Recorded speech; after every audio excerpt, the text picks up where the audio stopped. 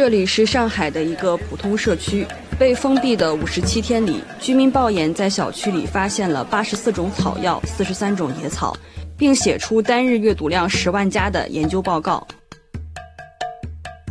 趁着上海居民生活逐步恢复正常，记者进入他的研究室，一起溜了一个多小时。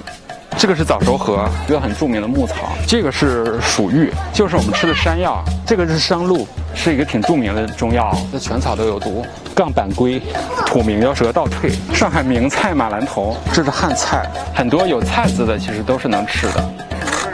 嗯，要不你尝尝？我尝过一次，其实没有什么味儿。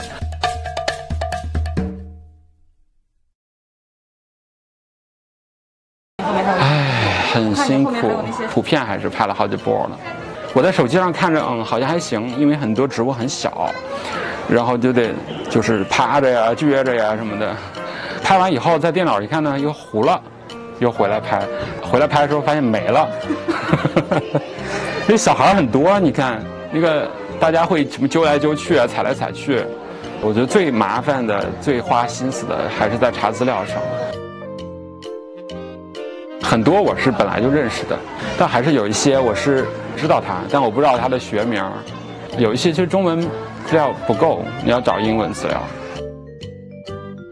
完全靠这种软件是肯定不行的，它就是草脸识别，它的出错几率其实挺高的。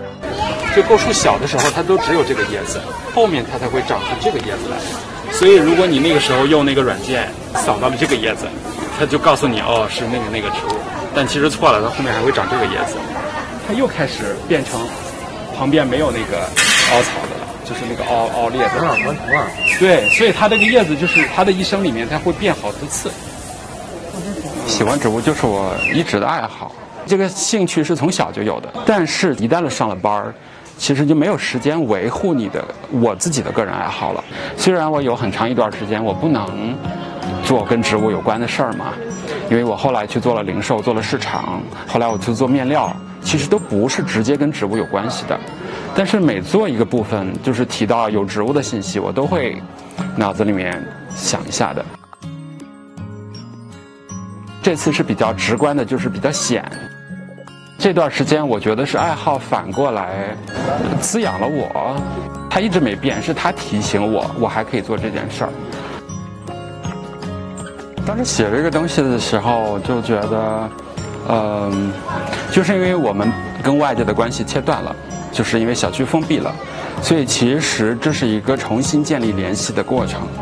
所以我的注意力就自然而然的就关注到小区的这些植物上面，就是它其实我觉得也是一种内心的需要，嗯，同时它也是一个挺珍贵的，呃，这段时间的这个瞬间的存在。我有时候会觉得他们是那种大哥大爷，他比我大呀，有他比我智慧呢。他虽然有一些草本是一年生的，但是它承载了可是。几百万年的进化的结果，变成今天这个样子的，每个部分都在它的基因里面。它知道要怎么长，它知道遇到某些情况它怎么开枝，开不开花，还是什么时候开花。其实它自己有一套它自己的智慧的。我会觉得有点遗憾，但我觉得这也是一定会发生的事情。其实除草这件事一直都在发生啊。就是今天看到的这些草，它不是今年才有的呀，每年都在除，然后它是去年的种子，它甚至前年、几年前的种子遗留下来的，所以没关系，即使是除草，也不会除得干干净净，它还是会春风顺又生。